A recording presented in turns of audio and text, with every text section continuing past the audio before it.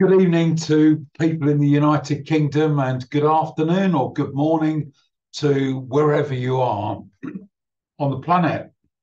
The good news is this network is uh, is growing substantially, and uh, it's really really good to see uh, that so many of you uh, have signed up. That's really really good news. Just uh, on a personal note, uh, quite a lot to tell you. some of you have come along to our true crime festivals that we've run in the the winter months. That's purely online. We're planning that at the moment, and I've got to tell you, some of the speakers that I've got are absolutely fantastic. We're probably going to do that in February, and this will really make you eat your heart out because since I last spoke to you, I've got two residencies uh, on two British cruise ships, uh, which means in November uh, I'm going around the United States and the Caribbean. Uh, and then April next year, uh, I'm going to be doing exactly the same, except uh, around some Caribbean islands. So that's quite good. And if I can, I'm going to try and run one of these events. Anyway, that's enough about me. There's a lot going on. It's really, really good to see new members and uh, past members alike. So um, I can't um, unfortunately, uh, I can't do uh, this uh, event live because unfortunately I'm abroad, which is a which is a shame because I like to do that. And of course, one of the things that we did last time is we looked at, and I did this as a sort of an emergency, really, was looking at inside the mind of Lucy Letby. And of course, today I explained to you there was a legal reason uh, why she has never apologized or anything like that. And that legal reason has come to fruition in that she has lodged an appeal, uh, which means obviously if she had apologized and uh, talked about her behavior, uh, her appeal would have failed. So, coming on to this evening, this is the world's worst murderers. And of course, one of the things that uh, I think is interesting about this talk is it depends on what you consider to be worst. But what I have done is I've created an index in which you can have a look at uh, different aspects of serial killing uh, and then apply those aspects to some serial killers uh, that you know. That will become um, clearer as we go through. But of course, this is subjective in your mind, what you consider the world's worst murderer. And I'm going to tell you uh, what I consider to be mine. So, what are we doing uh, this evening? Well, most of you know who I am. My name is uh, Steve Gaskin. That's an old photograph uh, on the left hand side. That's when I was a DCI, uh, and that was kind of equivalent to captain in the US. That's when I was a DCI in the Metropolitan Police Service. And uh, I've been the technical advisor to a number of uh, programs, particularly uh, BBC Silent Witness. And I'm going to talk to you about a program uh, that is being screened on ITVX, but you'll be able to see it all over the world, which will really blow you away. And some those are some of the cases that I've been involved in. So, world's worst murderers. Uh, some of you remember this icon that I love uh, using. Uh, menu. What am I going to serve up? What does worst mean? How is it defined? Uh, your worst murders index, and that's something uh, that I've added uh, to the literature in to be able to work out what is considered to be the worst serial killer, and that depends on what frightens you, uh, I'm, not, I'm not in the business of doing that, or what you consider to be the worst. We're going to have a look at the behavioral motivation, the why, and that is why we all come along here. That's why I've become very, very interested in this subject. And for the feedback, very good feedback, I have to say, that you've given me, that's why you come along to actually work out why. I'm going to talk about the worst of the worst. And I thought I would talk to you about the psychology of biting at crime scenes. Isn't that bizarre? If someone came in onto this uh, webinar, they might think that's bizarre behavior. But actually, that's what I did uh, on my bachelor's dissertation, was looking at the psychology of bite of people biting each other, not the science of who left the marks, but why they do it. And then we're going to look at some recommended reading. So here we go. I've put this slide up quite a few times. So again, you guys should be expert on it. And this is quite useful where police services have a behavioural science unit. It's a methodology or a method uh, to be able to not pigeonhole serial killers, but to look at some of the motivations. So let me briefly explain them again. Visionary is where someone gets a vision to go out and murder someone. Uh, often that person is suffering from some form of mental illness, psychosis, which, uh, for instance, which we're going to mention later on, or some erroneous message from some sort of deity or the devil, if you like, uh, to go out and kill. And already I want you to start thinking about who might come into that category. You then get into missionary, where the person is on a mission to kill in a serial mode. And uh, hedonistic is where people do it because they enjoy killing. And some of you have heard me say Ted Bundy, and there's more been written in the academe about Ted Bundy than any other serial killer. And uh, he said the having the power, and I quote, uh, in my hands to determine whether someone dies or not is the best feeling you can have. We then move on to power and control. And that tends to be uh, quite a few serial killings and the lion's share uh, where people are controlled by the power usually of a male. So we can see visionary and on a mission, probably Jack the Ripper spans those two quadrants uh, Harold Shipman, he was certainly on a mission to kill, that's for sure.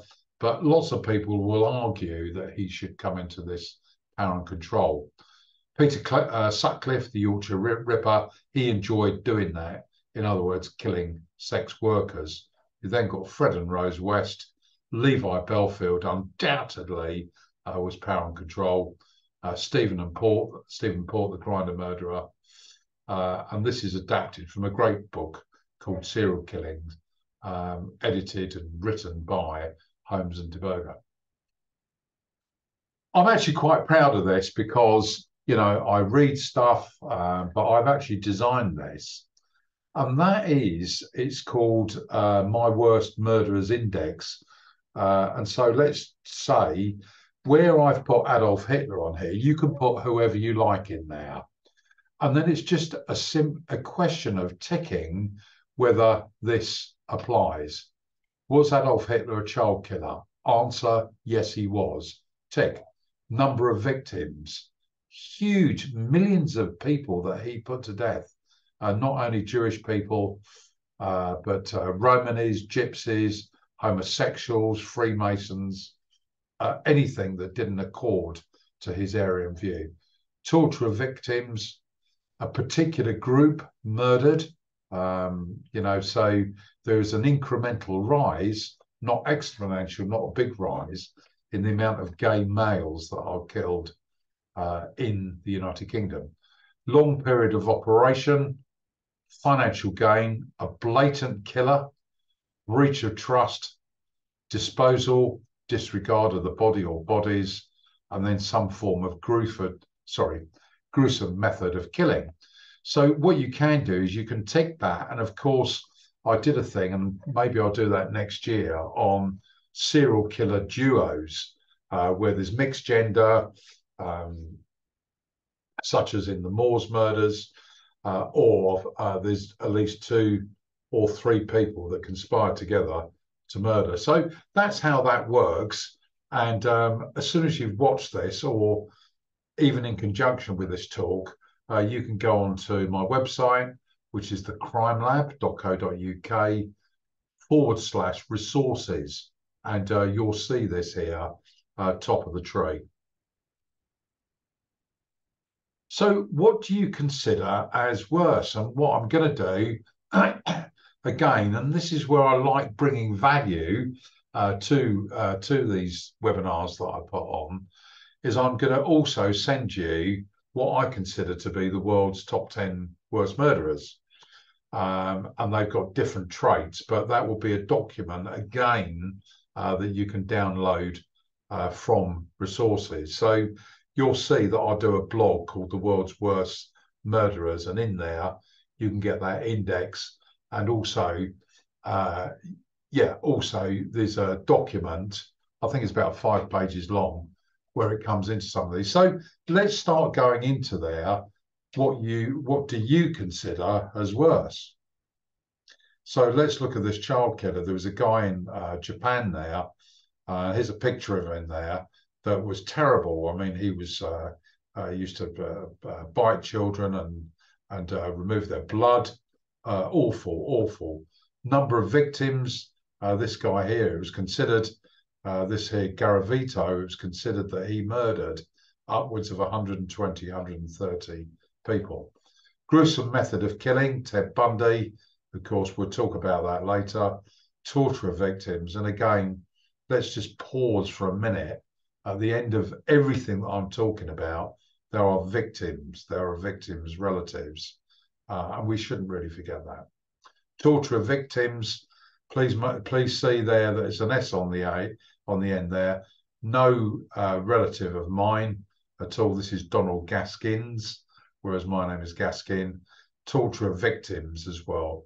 Uh, terrible. And the, he's one of the few serial killers that I know that had a double MO, a double MO. And you can read about him. A particular group of women, and you can see here Harold Shipman, the group he went for uh, was, of course, his patients. Long period of operation, uh, Gary Ridgway. Uh, lots of you know about that. There's been some good stuff on the TV recently. Netflix, I believe. There he is, financial gain. And this was Mary Ann Cotton there, uh, known as a Black Widow. That is usually uh, worldwide uh, the principal reason for women committing serial crime. That is financial gain. Disposal, disregard of the bodies. Uh, this chap, here, he buried uh, in sequence or in series or in parallel, he buried his victims so that they were standing up in a field. Most bizarre. Breach of trust, medics, police, and of course, we've had that Lucy Letby case. Talk about a breach of trust there. Uh, and uh, we also look at uh, other people, uh, uh, notably in the Metropolitan Police Service recently, particularly Wayne Couzens.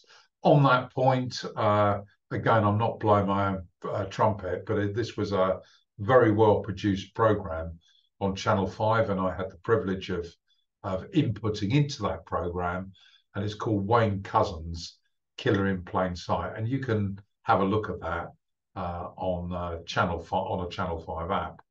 Um, and this is a guy called Joseph DeAngelo, who was a police officer in California and then blatant killers like Hitler, uh, Joseph Stalin, our ally during the Second World War, and he killed more people than Adolf Hitler.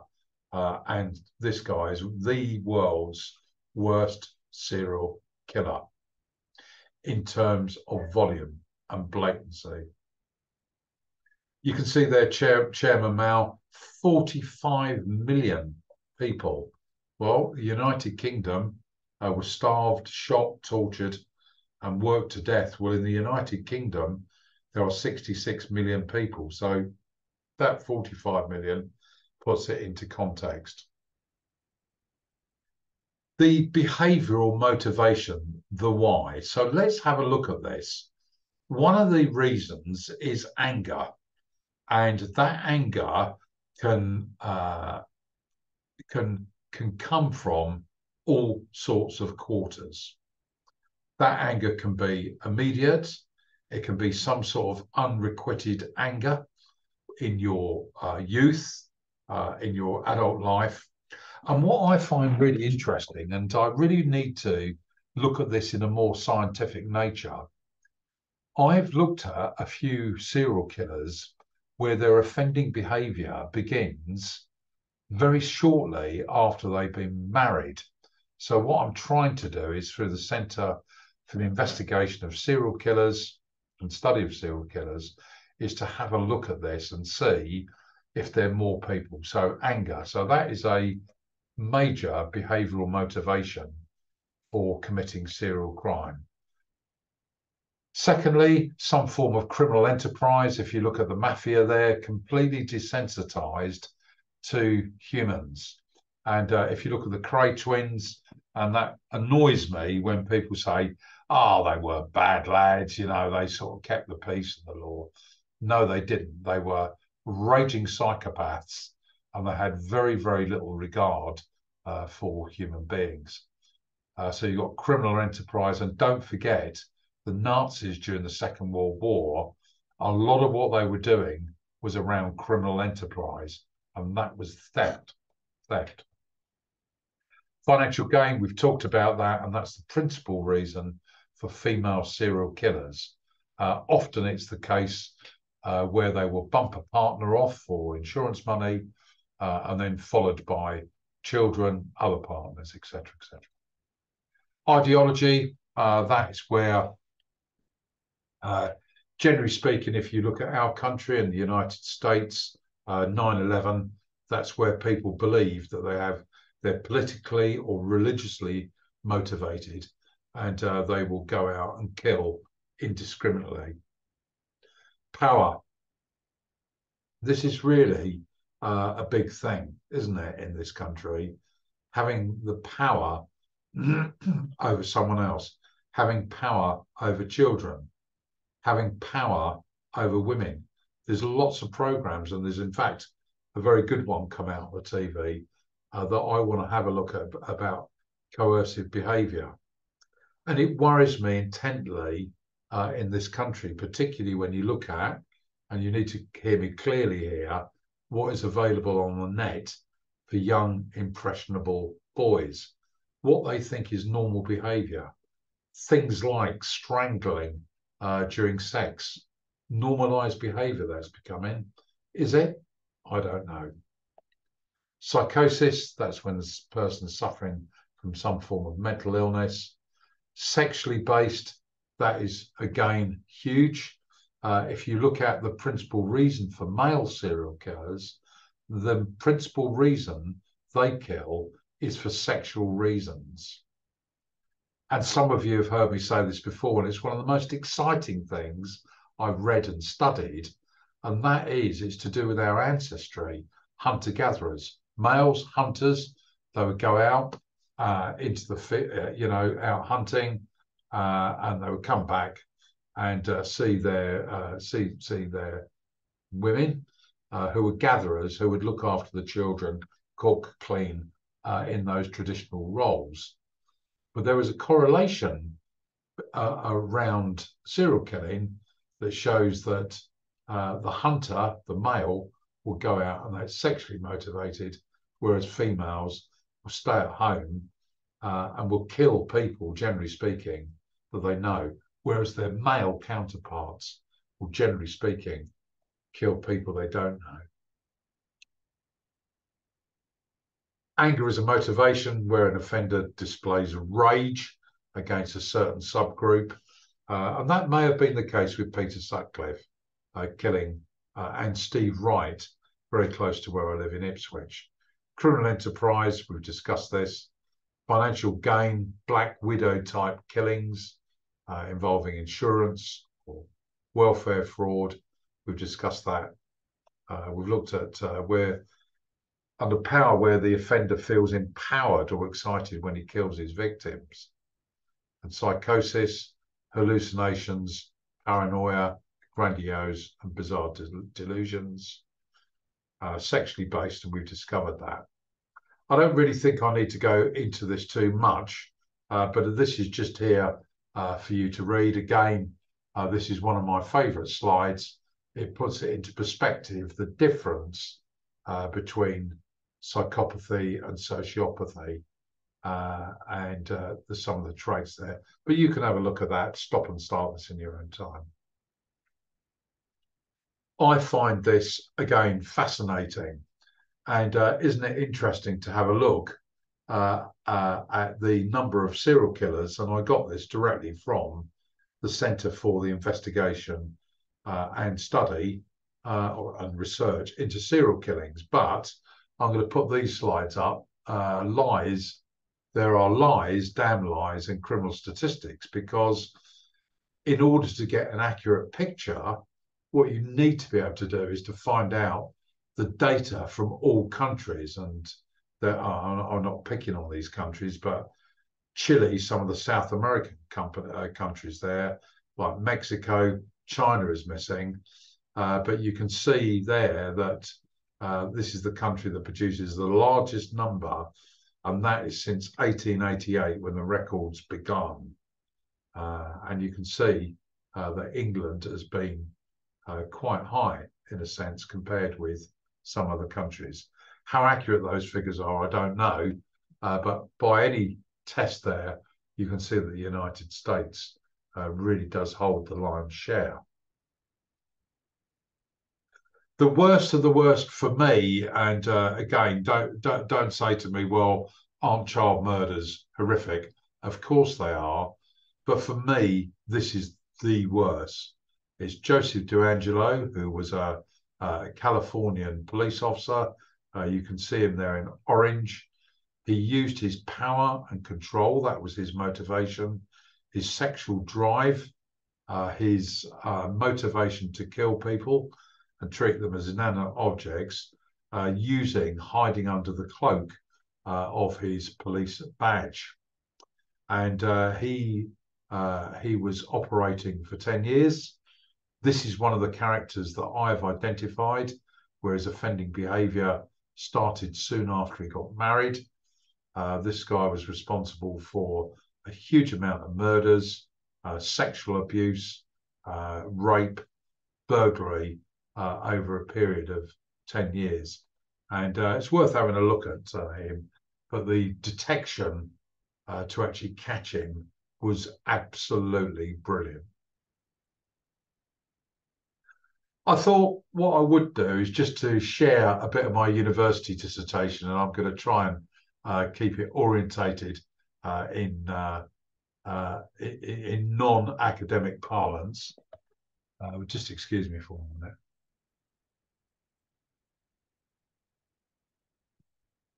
So, of course, what we have uh, is a uh, probably three parts to this. The first thing you have is the science, which is called forensic odontology, looking at uh, who done it really. So if there's a bite mark on someone's skin, a forensic odontologist will have a look uh, to see who uh, see who's bitten if they've got some teeth marks. So the second thing is the ability of a technician to be able to produce some good uh, teeth marks. And the third bit, is where we come in, is looking at the reasons why people do this. My mum, uh, my young mum, who's still alive, must have wondered what on earth I was doing uh, studying around uh, this particular subject. But I hope you find it fascinating damning evidence. Is it damning evidence? There is a problem uh, running through a lot of Western courts about the science of odontology. But here you've got Ted Bundy, uh, and they are biometrics, your teeth. In other words, there's no person on the planet that's got exactly the same teeth marks. But with him, you could see his dentistry here. There is a pronounced lower teeth here. Uh, so bite marks, and this is how he was caught. You can see the bite marks on skin there has been traced. Quite often what they will do is to put a piece of laminate over the top of the bite mark and then draw these black lines uh, around it. And these are the teeth impressions uh, of uh, Ted Bundy himself. So unusual dentition there and uh, and uh, you know this was what brought about his arrest. Why do people bite each other? Well, surprisingly, and this is what I enjoy doing, there's very little research around uh, this subject. There are three principal reasons why people bite uh, at crime scenes. The first one, and I'll talk about them in order of seriousness, the first one is called uh, is called anger impulsive biting. So the anger impulsive bit there is a result of frustration or incompetence to deal with a situation. So some people may, uh, during an argument, if they can't control themselves, they may act in a violent way by banging on the table, they may shout, they may assault someone. But some people will bite. And this may account for the disgraceful behaviour uh, of a, um, a, footballer, Luis Suarez, uh, particularly as a role model to lots of uh, young people. But what I found to be very, very interesting is this. And what I'd like you to do is to pause for a moment, uh, particularly if you've got brothers or sisters, and ask yourself, did you bite or were you bitten by a one of your siblings? And that is when you're at a young or tender age. I'm not talking about when you're 20, 21, 22. It's really, really interesting. And it tends uh, to be not the first child uh, in order, but the second or third child. So in my family, uh, uh, my parents had three boys. I'm the oldest. My middle brother Pete, youngest brother Phil, and my middle brother Pete was a biter. And you have to work out, start thinking about why that was. But what I found really, really interesting is by research and talking to people and looking at case files, the principal reason for people biting when they're young children is jealousy. I found in 80% of the cases. But what's even more exciting is I concluded that uh, this follows on into adulthood. And for a lot of biting reasons, it's often jealousy in about 80% of cases. So what's interesting is if you go along to a homicide and there are bite marks, in 80% of the case, it's going to be jealousy. So you can't be brainwashed by that statistic because it might be another reason. Uh, but that is a good starter uh, for 10. So can you see if you're that where this is an example of countless examples where psychology complements policing beautifully. Uh, and unfortunately, in my own humble view, uh, the police service uh, take pay very little credence uh, to psychology and where it can help. So the correlation here, uh, the, the actual biting here, tends to be quite superficial. We then move on a bit here. St sadistic biting. This is uh, linked to uh, the need for power, domination, and control. As you can see there, And one of the most infamous cases uh, was Ted Bundy. So can, I'll put on there, and I'll read this out, the last paragraph. It can be noted the causing of physical pain is not in itself the reason for the biting. Not always, uh, not always. But what they do is they do this uh, in a sadistic mode. They want to hurt someone. And the um, the depth of the bite mark is uh, is starting to increase. So if you look at the first anger impulsive biting, tend to be superficial. This tends to be uh, a lot deeper. Uh, and you can see here a protractor's actually be, being used to measure some of these bite marks uh, here to try and get some evidence together. We then move on to, uh, and forgive me for this, this is the most serious and mercifully is very rare.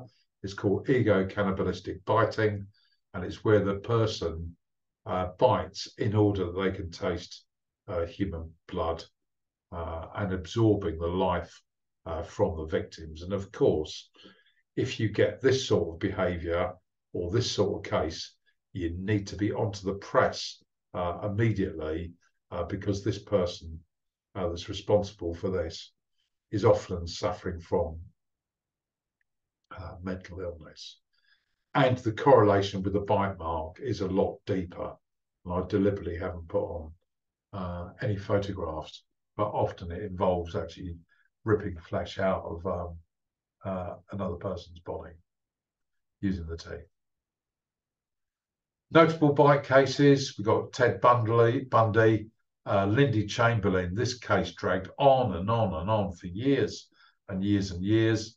There is her with a little baby Azaria many moons ago. That's what she looks like now.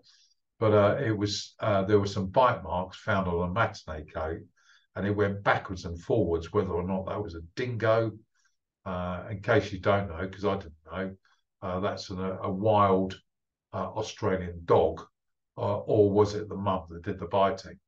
But this went backwards and forwards, and eventually uh, she was acquitted and found not guilty. Dale Bolinger convicted of attempting to snare a young person and eat them, but that was intercepted by the FBI. They put an undercover officer, and he was arrested, charged, and convicted. Wayne Couzens, uh, again, uh, it saddens me, uh, all of this rhetoric that's going on in the police service. In fact, my uh, police service that I had the privilege and pleasure of working for for many, many years, uh, this is one of the worst uh, cases I've seen of premeditated murder. The thing is, though, is that no one knows why he did it again uh, in the judge's um, uh, not summing up uh, when he was uh, in his sentencing report he said that he had no idea why wayne Couzens did that. Secondly in the lucy letby case the learned trial judge said exactly the same. So we don't actually know and we can't speculate. I'm being encouraged by my company to uh, go and see Wayne Couzens uh, in prison and ask him why. Why did you do it? These are some of the books. Um, the, some of these are fictional. The Book of Serial Killers there, Jack Rosewood, uh, an encyclopedia of serial killers, and it talks about the world's worst murders. This is a really dear friend of mine, Catherine Yaffe. Uh, she's written this book, fiction, called The Lie She Told. And this one here, again, you can stop as a free download on Kindle. And I thought this was absolutely brilliant, uh, the form. So that gives you, and we'll go back, uh, I'll finish where I started, and that is, uh, so this is very much subjective. It's what you consider uh, to be the world's worst murderer.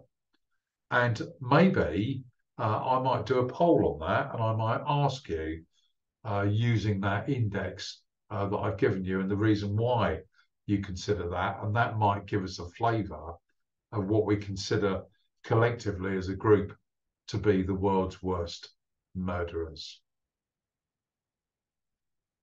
Okay, so here we go. Uh, these are the upcoming uh, experiences. And what I'd urge you to do, as I say, I'm really sorry uh, this is, I'm recording this.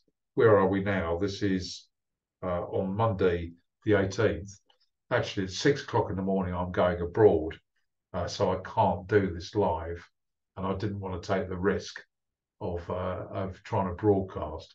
So it's going to be uploaded to YouTube. And uh, as soon as I finish this, and you will get that so you can uh, watch and listen to it.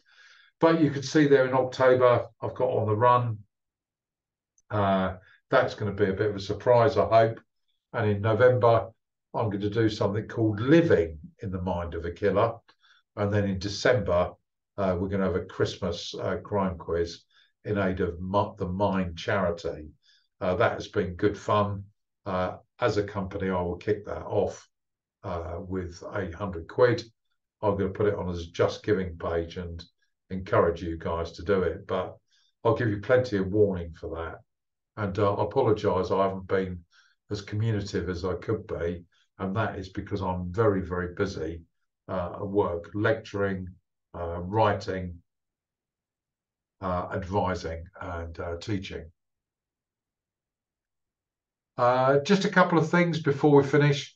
Thank you very, very much to coming on to all of you it's always really, really good to listen to what you're up to. Uh, we've been able to help uh, students with their studies, which is an absolute delight. Uh, in the new year, we've got a true crime festival coming up. Uh, and I should say backtracking, in October, if you go on to crimelive.co.uk, I'm out on the road uh, quite a lot. Uh, in Fuller's Pubs, I've had some instructions to do some work. And uh, I've um, been invited, and this is the best thing I've ever been invited to do. I've been invited uh, to go up to the Bow Street Museum in London uh, during National Science Week in March. Uh, and I'm going to do a, a, Scotland Yard fingerprint masterclass, but I'm linking it uh, to a serial killer who was known as the air raid serial killer. And uh, I'm researching this at the moment. And uh, not only will I deliver it to you guys uh, in the new year, but I'm also going to do it as a walking tour around central London. But I think that's enough for me. So let's just uh, stop this, uh, stop this. And I'm going to say, as always, uh, thank you very, very much uh, for coming on to uh, this uh, webinar. I hope you enjoy it. It's probably the wrong word, but I hope you get something out of it uh, from a true crime perspective and a psychological perspective. Thank you very much and uh, look after yourselves. Good night.